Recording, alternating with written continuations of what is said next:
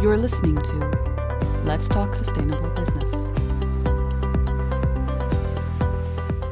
Hello, my name is Uwe Schulte, and it's a pleasure to welcome you to this episode in our series Let's Talk Sustainable Business, which is brought to you by the Conference Board Global Sustainability Center. Today, I'm welcoming back Ken Bowles, Chief Financial Officer at Smurfit Kappa, one of the world's leading corrugated paper packaging companies. In our last episode, Ken gave an overview of the circular business model transformation at Smurfit Kappa. Welcome back, Ken. Thanks, Uwe. Good to be back. Ken, today we would like to hear a bit more about the sustainability performance and examples of sustainable packaging solutions. Let's start uh, uh, with an overview of um, what you would call your material impact with respect to energy, water, carbon footprint and also waste? Sure. Um, it's, it's, it's a wide ranging question, so I'll, I'll try and fit as, as much in as I can. And, and please, if I miss something, uh, by all means, by all means, ask me. I suppose we, we've set a goal for 2050 to be, be carbon, carbon neutral. That, that clearly is something that will move over time because I think ultimately carbon neutrality will become, you know, all GHGs in time, all greenhouse gases neutrality, I think, will be really the standard when we get to 2050. I think it could either be new standards will come in around biodiversity loss and things like that. But at the moment, you know, we, we have an, a target or an aim to be at least net zero by 2050.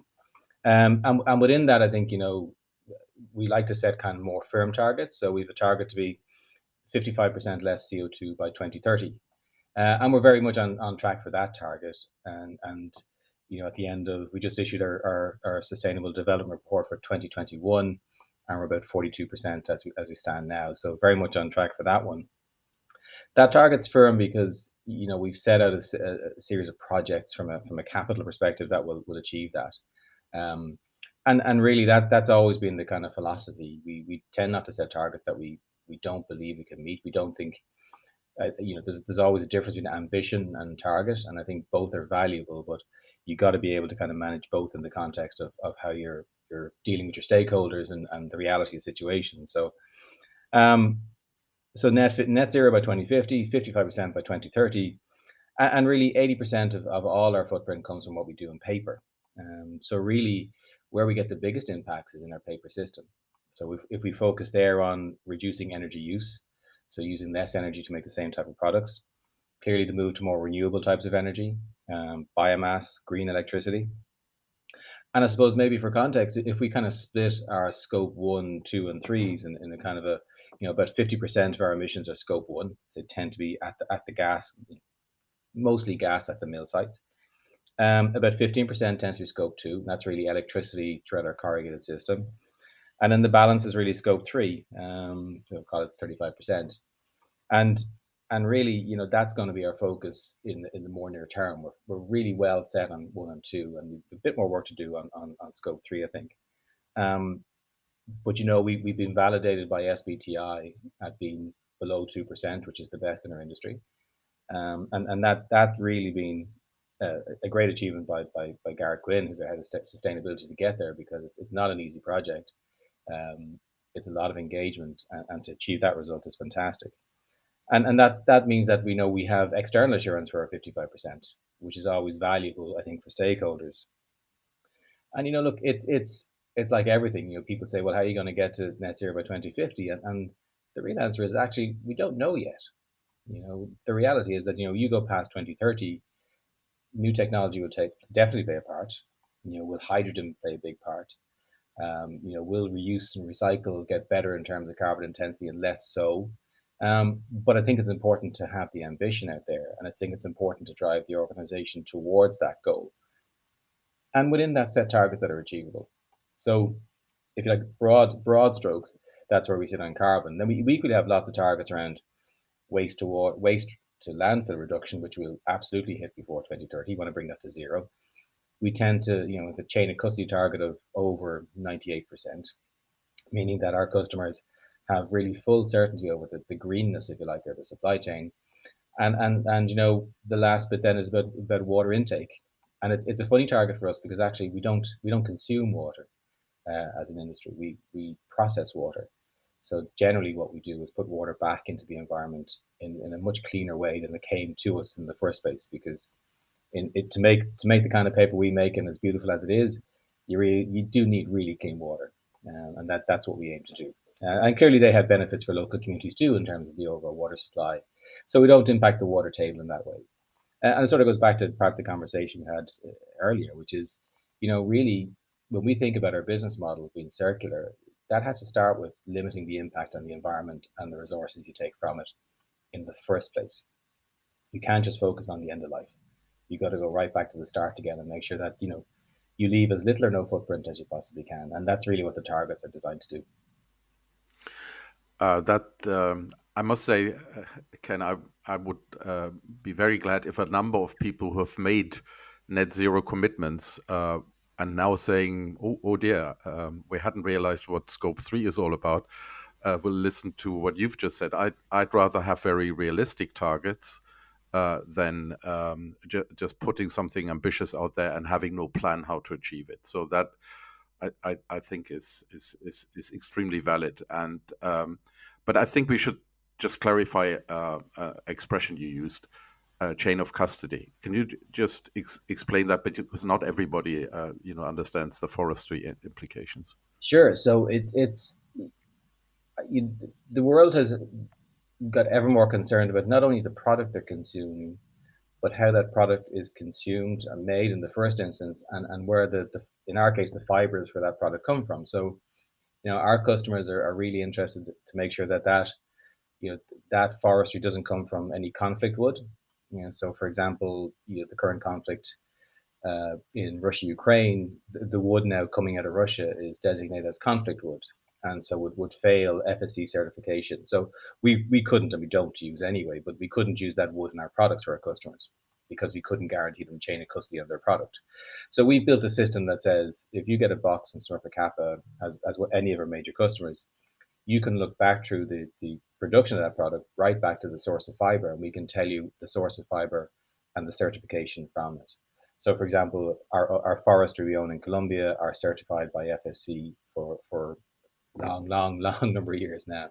Um, and equally, the fibers we, we secure from third parties and, and, and the paper we buy from third parties equally chain of custody certified. So we're not unique in that, but I think it's it's it's valuable for our customer to be able to say to their customer, the end consumer that your your product does not you know does not impeach any laws around conflict wood or the modern slavery act or the use of, of in, in certain industries you get you have issues around child labor for example so that that's a very important statement then and then you know people will see that on boxes if if hopefully after the end of this people will begin to go into supermarkets and turn boxes upside down like i do to see what's on the end and if they do they'll see little things like fsc uh, and they then they'll know actually this box is sustainably made and comes from sources that have been certified to be you know, non-conflict.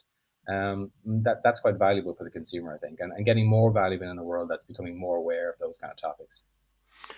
Excellent. I just realized that, you know, I asked you about an expression you used, and we both use the expression scope three. Let's just make sure that uh, our uh, uh audience is also aware. I, I think 90% are, but let's just make sure. Scope one and two is under your control. It's your production and the energy you directly buy. Scope three is whatever happens upstream in your supply chain and uh, in the use and the final disposal of, of your product. That that is scope three, right?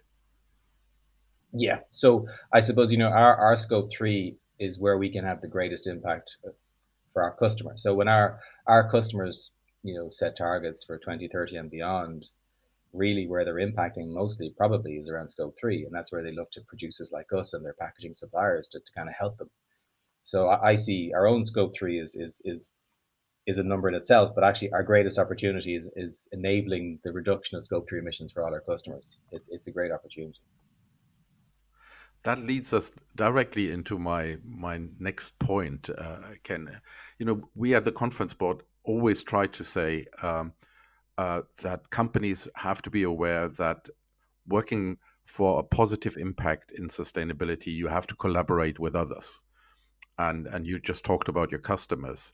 Um, can you give us an example of um, how you work with customers uh, to do something about that?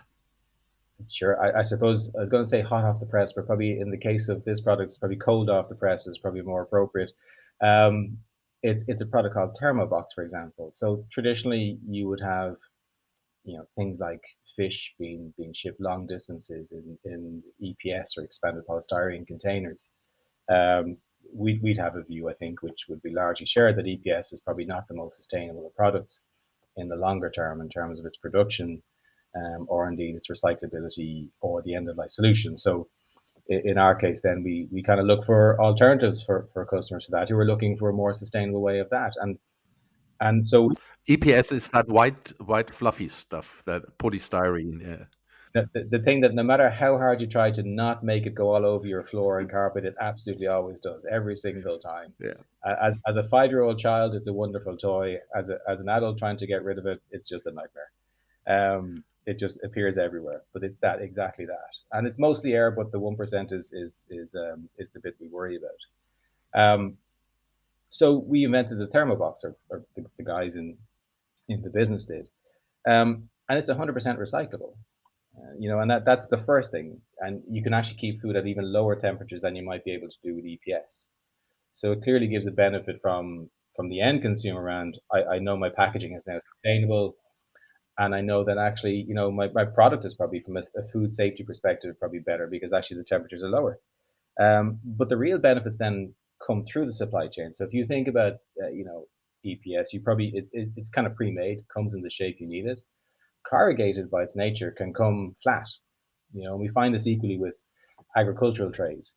So you can you can store them flat. So your your ability to to kind of store much more of your raw material or your or your packaging product uh, is, is, is much greater with Thermobox. So you store flat when you, you need it, you just erect it and then off you go. And that, that can be handy, particularly in, in busy times because you know some customers find that uh, and we found that with, with, a different customer and how we solved their problem which was they found that when they were really really busy they ran out of you know the reusable plastic crates that you see in supermarkets they actually ran out of those when they were busy so we, we replaced all those with corrugated board which meant that they never ran out um, but also they could print on them for campaigns. So they became much more of a marketing product than they were a transport product. Um, but back to kind of the Thermobox. The Thermobox does very similar things. You can print on it. You can make it campaign based. You can you can do whatever you want in terms of colors. But logistically, you store flat. Your supply chain is always full in terms of packaging packaging kind of supplies. And so you can see how it can have wonderful application not only in the retail sector, but clearly through e-commerce also, because you you know e-commerce boxes are becoming the norm in terms of, of, of how we might deliver things. And, and the Thermobox fits the e-commerce environment just as much as it fits the retail environment. So it, it's ways like that where, you know, we, we, we kind of work with the customer because sometimes it's, it's the customer. We, have a kind of concept here of kind of trying to understand the customer's pain. So sometimes it's not really that they're looking for a different type of box. Sometimes it's it's kind of that they're looking for and they haven't kind of figured it out yet. But it's it's where are they where are they on that sustainable journey? Where are they on the kind of brand promise and what the consumer wants from that? And that's really where something like Thermobox fits in perfectly. No, I you know I, I, I used to be one one of those procurement guys, but it's so long ago I've I've more or less forgotten about it. But one of the mantras was always, you know, um, you shouldn't try to invent everything yourself. You should really work with your suppliers because they they might have ideas of solutions which you haven't even dreamt of possible. And this sounds a little bit like it. I'm i'm almost dare to say why haven't we had this earlier? I, I suppose that you know in some ways the, the technology hasn't been there in terms of you know things like food contact and and being able to ensure those kind of things being able to work with a box that that can go through the supply chain like that um, some is actually Uwe quite simply because, you know, as an industry and particularly Smurfit Kappa, we didn't think like that before. You know, if, if you if you came to us in, in your former life, you'd say, Ken, you know, my box cost too much. Uh, I need to reduce the cost of my box, um, which I'm sure you did.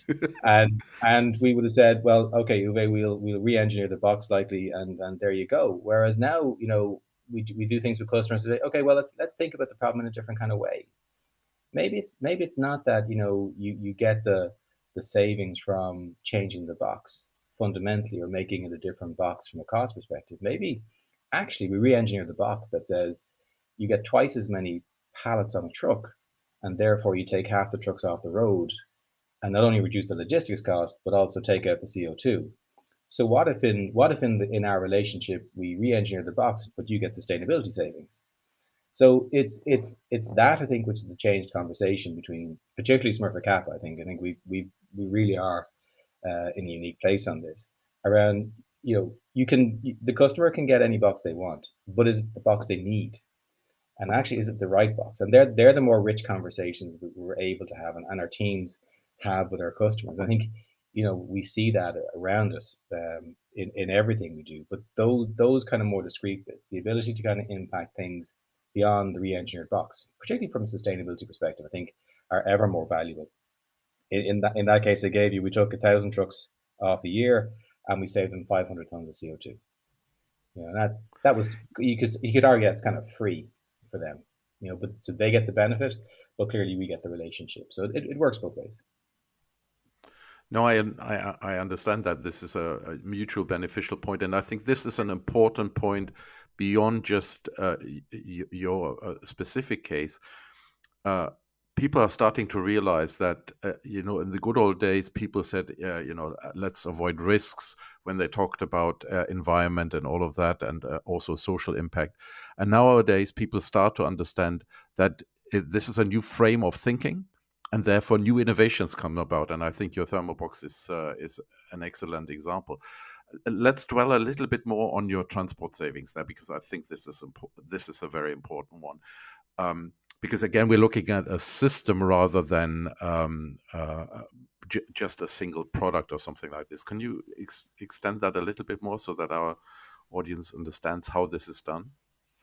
Um, we start off with a fundamental problem that when you're shipping corrugated you're shipping air right? so uh, you so distribution and logistics become ever more important paper paper is great because paper big reels of paper can go anywhere, you know, and, and, and largely they can go by rail or boat. So they, they tend to be less impactful from a, a from a CO2 perspective in terms of where they get there. But trucks trucks on roads, we, we know that, you know, corrugated doesn't travel more than 250 kilometers, but that can be a lot of trips. And for our customers, then they clearly have to get their product to wherever it's going. And, and you know, 80, 75, 80% of our customers are FMCG. So, you know, food, beverage, those kind of those kind of um, sectors.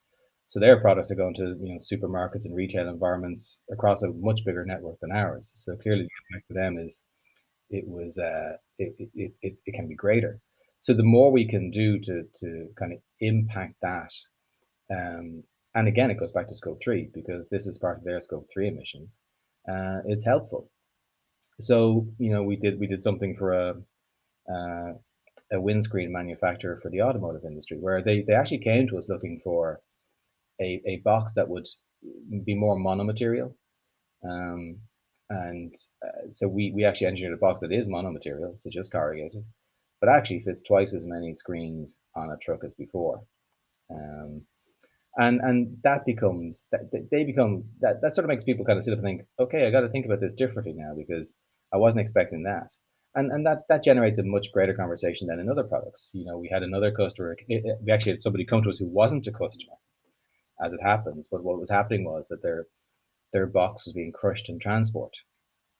Um, so when it got to their supplier, it was being rejected because the box just wasn't working. Um, go back 10 years, we would have just said, okay, we make you a stronger box, and that's great, isn't it? Um, but actually, we said, but do you realize that you know, you've got three products here. It was it was kind of wine for a retail environment.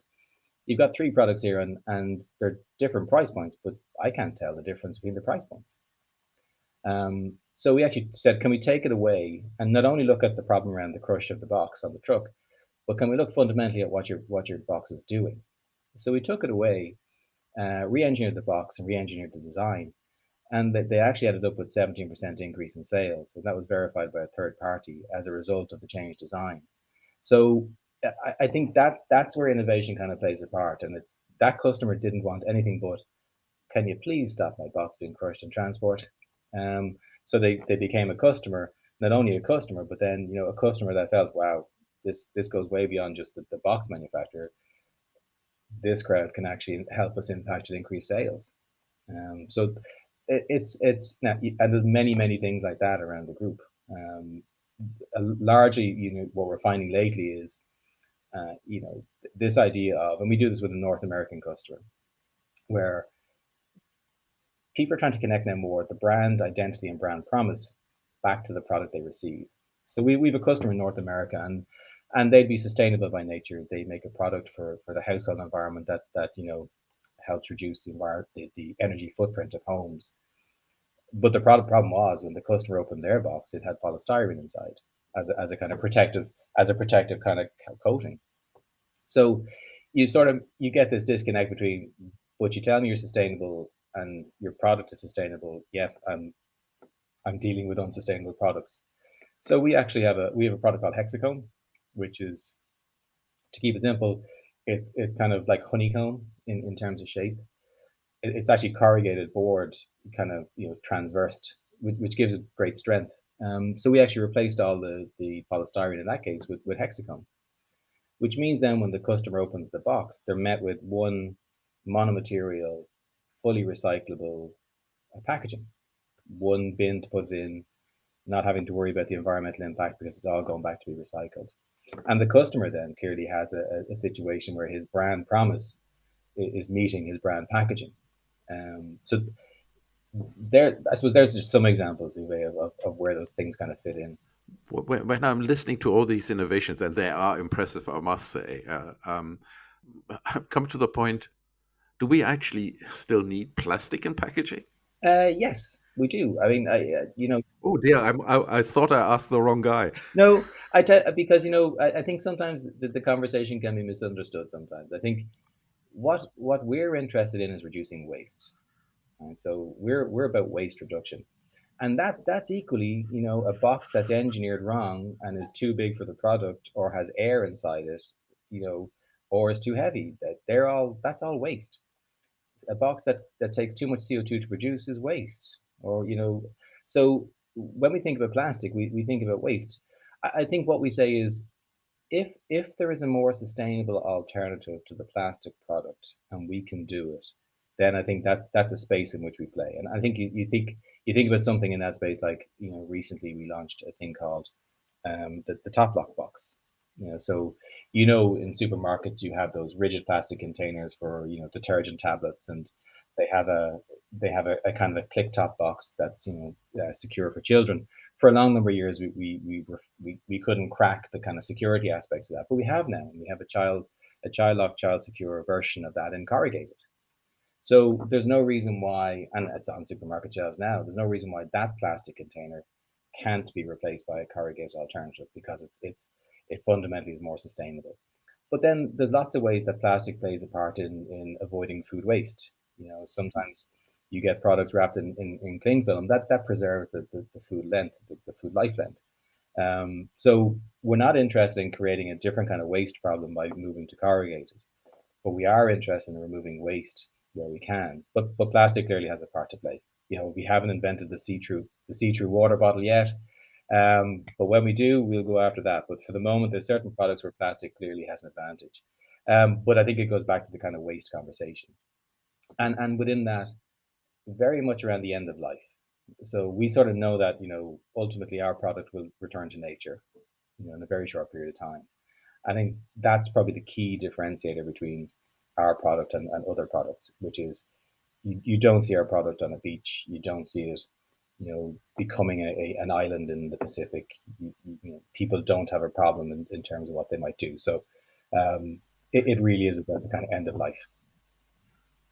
No, I, I'm I'm I'm glad you say that. Uh, we we have in the conference board also spent some time looking at the the consequences of plastic waste and what can be done about it. And I think uh, building a really good infrastructure uh, for making it a lot better recycling will be one of the big challenges uh, the this idealistic view that we can get rid of all the plastic, I think, is is not the way to do this. But make it circular, as you have already done.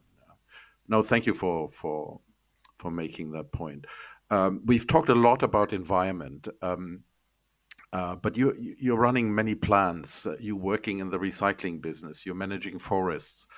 Um, there are also social aspects like uh, paying living wages, making sure that communities you operate in thrive. Can you tell us a little bit about that aspect as well? Because sometimes uh, that's put to one side? I, I, you know, we operate in 36 countries, 48,000 people. I, I, think we have a very kind of keen sense of our social responsibility to, to all those people. The, the first of which is to make sure that they go home safely every single day. That that's that's the primary concern. Um, we we benchmark ourselves against the living wage, and I think we we I think we pay above the living wage for over 95, 96 percent of our employees, um, and where we don't, there's there's either legal local reasons or we'll catch up. So. Um, I, I sort some of goes back to history of it because you know when you think about paper mills, uh, generally they kind of started in small towns and towns grew around them. So you always have a deep connection back to the community in which you operate. Um, I, I, think where we see some of the richer aspects of our CSR activities are probably through Latin America, where where clearly communities don't necessarily always have the advantage that some of our more developed European communities do. Um, so we, we always try and impact those communities a little bit more through either you know, we build community centers in, in, in Mexico City, in El Salvador. We have schools in Colombia. We do something similar in Argentina. So, but there always is a, a definite sense of, and, and it's something that we we very rarely you won't see us kind of you know you won't see us kind of screaming and shouting about it you won't see us kind of making a big play of it um, but if people go onto our website they'll find a thing called our open community brochure and they can see a list across the world of an example of some of the small projects we've done in the local communities but I think we, we see ourselves we, we, we see ourselves as deeply connected to the environment in which we operate from a, from a people perspective but also from a planet perspective so you know we operate forestry in Colombia we do that in in in conjunction with the local communities there. Um, and, and we've created employment for the local communities there. We, we probably built most of the infrastructure uh, to a point where we have generations now working in our factories and farms. You know, I was at a I was at an award ceremony here in Ireland. So when you get to 25 years in, in Smurfit Kappa, we have a small lunch for everybody who's at that. Uh, I sat at a table with uh, somebody from a, a plant of ours in the west of Ireland, and him, his two brothers, his father, and his grandfather have all worked for Smurfit Kappa. So I think collectively they had something like over 88 years of experience. And and that that I think that speaks a lot for for who we are. Um, and and that's not atypical. I, I know I've been around the group and I know many fathers and sons uh, who work in the organization, mothers and daughters, brothers and sisters. We had a conversation earlier on about you know my nephew who works in the business, um, who who who disowns me at every opportunity and has a different surname, so nobody knows who he is. But he's, you know, it's it's it's a very familial place, um, and it's something I think that Tony particularly is superb at fostering that idea of. Um, but I think it comes back to, you know, ultimately, I, you can do the E and the G, right? So that you can do those, but if you don't do the S, and if you don't really do the S, you'll be found out. You know, we don't live in a world anymore where you can avoid the S. And I think I think you know we've had conversations before, and I said like I think the S now is capitalized. I think in in a post COVID world where people are going, yeah, look, if I, if I deal with the economic part and I'll get the governance right, I'll make sure people are okay. I, I think the next few years will really see how people were were were dealt with, if you like, by their organizations during COVID. And I think it's going to be a really interesting conversation around retention, around attraction of talent, mm. and about the types of organizations that people want to work for. And I suppose that's really where it comes for us. We want to be an organization that people want to work for. Um, and I think you can only you can only do that through your values. And and our values are, you know, loyalty, integrity, and respect. And, and we, we try and live by those every single day in Smurfit Kappa. And that applies to the local community and it applies to all our plant managers and applies to everybody here in, in, in Dublin in the head office and at whom we meet. So I, I think you know some people kind of when they get to know us a bit, they're they're kind of slightly blown away by the culture in Smurfit Kappa. And and I, I realize I say this as somebody who's been in the organization for 28 years and I'm clearly institutionalized. Um, but there's a reason why I've stayed for 28 years too, um, and it's it's the people, and it'll always be the people, um, because that's what makes you get up every day, come in, sit down, go through everything you got to go through, because we make the products we make with the people we make in the communities in which we make them. Thank you so much, Ken. I, I must say that uh, I have to remind our audience that uh, we've just been speaking to, to the chief financial officer, and Smurfit Kappa is uh, a growing, very profitable business. and uh, people might have not believed that uh, when they just heard you uh, the last two minutes. Um, and it, it is just a symbol that only companies where the leadership uh, from the innovation guy to the supply chain guy to the sales guy and also the finance guy do have fully integrated sustainability, you can be successful in the long term. And you've you've just ex, uh, exemplified that, and I, I really appreciate and thank you for giving us hope that circularity in the packaging industry is not just a pipe dream. Oh no, it's a reality, and and Smurfit Kappa is living it daily. Thank you so much. And uh, to our audience, if you have enjoyed this episode, please remember to subscribe to our podcast series or explore the entire catalog of our podcast programming from the conference board by visiting the website at tcb.org slash podcast. You can also write to us at sustainability at tcb.org. Thank you for listening, and please join us again when we have uh, uh, again an episode of Let's Talk Sustainable Business. Thank you and goodbye. That was Let's Talk Sustainable Business.